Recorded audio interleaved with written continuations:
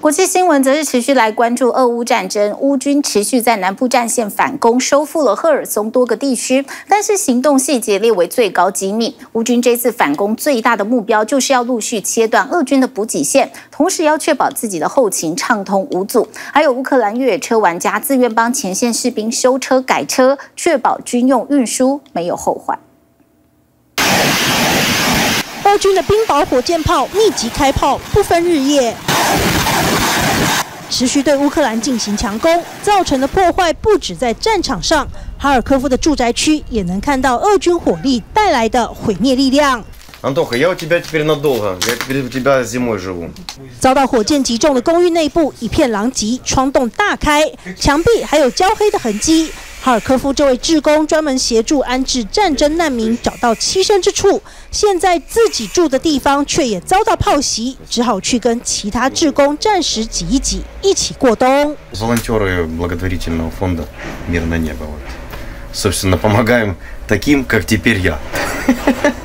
镜头往东南来到克拉马托斯克市，这里的公寓住宅同样遭到俄军炮火破坏。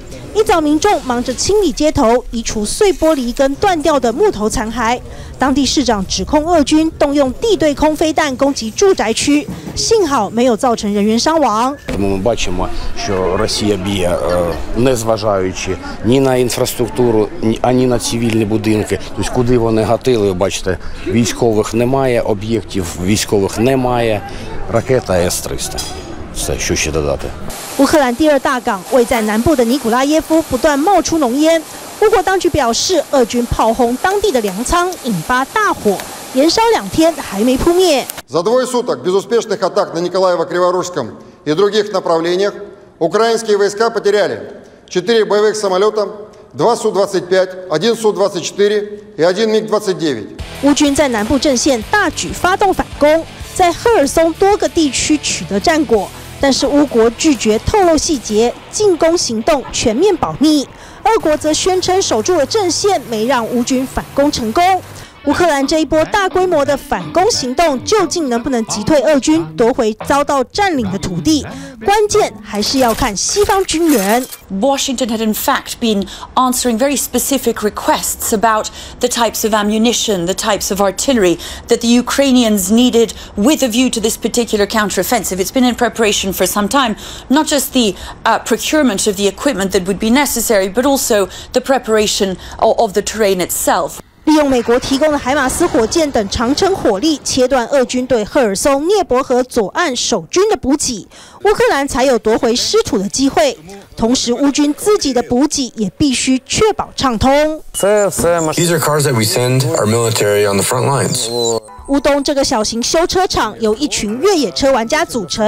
俄国侵乌战争开打之后，他们开始自愿帮忙，协助军方修理车辆跟其他的军事设备。What were we doing the first few days? First of all, we outfitted a field repair vehicle. This is a support vehicle that repairs in the field of operations. And it came in handy quite a few times. We repaired military equipment that broke down on the spot. 许多民众听说后想要帮忙，甚至会捐二手车过来，让他们改装修理，送到前线给乌军使用。In this case, the vehicles came from England. The previous ones came from Europe, Poland, Germany, Belgium, France. Everywhere that has a good Ukrainian diaspora. People help in any way they can. We took the vehicle to the boys on the front lines. They had it for a few days, a week maximum. Then it got burned down. But during that time, it helped evacuate 15 injured men. 军方也固定找他们合作，改装车辆，为战场上增添新的武器。They open the door and they get out a Browning. This is a 50 kilogram machine gun. Two guys threw it into the car and secured it. Двоє закинули на машину. We set limiters to make sure that it's fixed at the right height.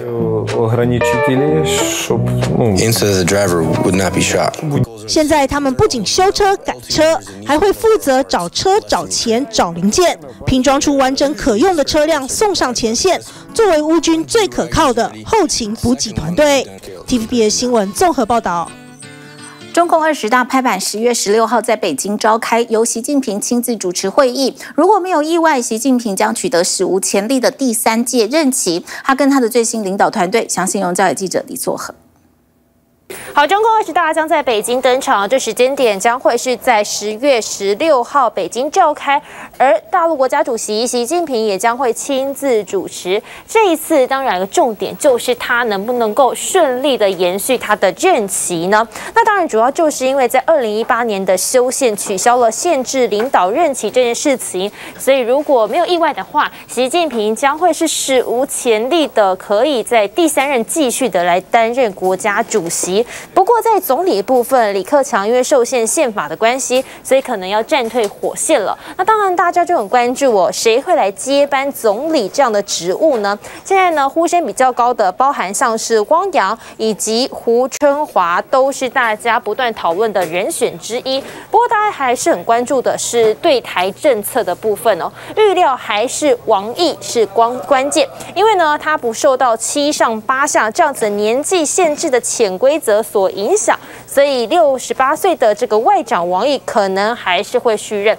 但是即便是如此，未来这挑战还是非常的大，因为中国大陆他们自己也有一些内忧外患，包含像是清零封城也影响了经济，再来是人民币也创下了两年的新低，还有就是现在美国也是串联东亚和太平洋的岛国要来抗中，未来美中的对抗还是会是一个很大的主轴。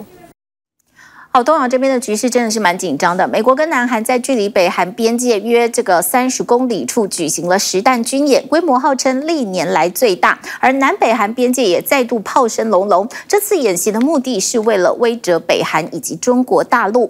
美国跟盟国的频频军演，大陆也参加了俄罗斯举办的东方二零二二军演，互别苗头。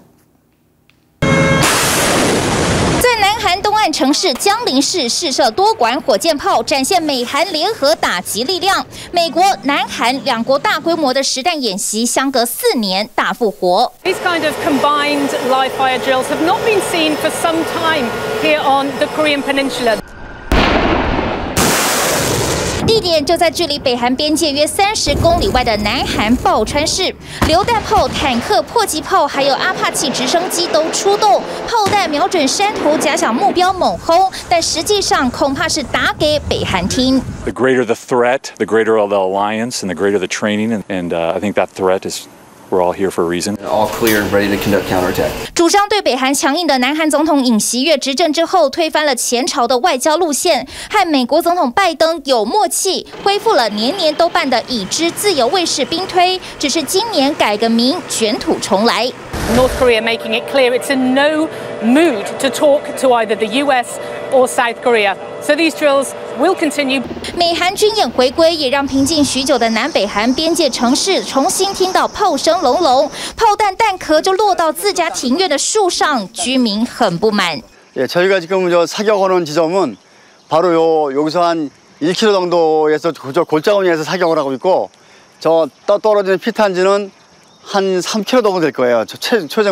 抱怨军演太扰民，但是从南韩军方的发言似乎透露着未来练兵机会可能更多。앞으로도이와같은실전적인연합훈련을통해서한미상호능성을증진시키고 事实上，今年美韩已知自由护盾的演习范围很广，除了陆军火炮实战，还包括都市战演练，地点选在南部大城釜山，包含地铁站内反恐演习，还有在釜山体育馆演练化武和无人机攻击。釜山은대한민국제이의도시이며전시연합전력창출의출발지입니다전평시완벽히지켜야할곳입니다 除此之外，海陆部队还在庆尚北道进行空降训练，而南韩空军也参与海外练兵，那就是由澳洲主办的漆黑军演，也有派战机参加。우리공군의 KF-16 전투기인도네시아의 F-16A, 영국의 타이푼 미국의 F-15C 등각국공군전투기가호주다윈기지상공으로날아오르며 연합훈련에적극적으로임했습니다清一色都是和美国盟友合作。回顾整个七八月，亚太区军演四起。 从环太军演开始，美国与盟友互动更紧密。日本公布了在环太军演共同演练对舰射击的画面，同时也参加了美国、印尼八月初举办的加鲁达之盾。中国大陆看在眼里，也来联俄反美。 司主办的东方二零二二演习，把一干盟友全都找来，包括中国大陆、印度、白俄罗斯等，宣称有十国超过五万大军参加。而这也是俄乌开战以后，俄罗斯首次办跨国军演。大陆官媒是一面倒的赞瞎。向西方、向美国表示，如果在周边任何一个区域发生类似的俄乌冲突的这种事件，俄罗斯依然有能力执行各种作战任务。这次的东方二零二二从九月一号到七号会在俄罗斯东部七个军区展开，地点包括鄂霍次克海以及日本海的水域。大陆更是陆海空三军全面投入，说要全面练兵。针对美国批评这场军演是中俄合谋反美，大陆外交部反呛。美国打着西太平洋地区稳定的幌子，赤裸裸的试图以台制华，这何谈与中国无关，与中美关系无关呢？大陆批评美国指控中俄联手根本就是自己对号入座。不过中美各自抱团呛虾，已经让整个亚太区遍地是地雷。TVBS 新闻综合报道。请支持一个专门报道国际新闻的全新 YouTube 频道 TVBS 国际 Plus，扩大视野，掌握趋势，请订阅并开启通知小铃铛。